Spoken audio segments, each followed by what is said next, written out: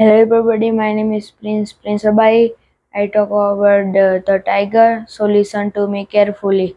The tiger is a wild animal. It is strong animal. It is look very clear. It has a strong uh, muscular uh, muscular body. The tiger uh, bright uh, yellow and black strips. It has a bright shining eyes. The female tiger called tigerisis. The tiger live in jungle. Eat padded fat the tiger kill uh, like deer and sheep. The its hunt uh, its prey. Sometimes the tiger enter village. It kill uh, cattle and sheep. The tiger our national animal.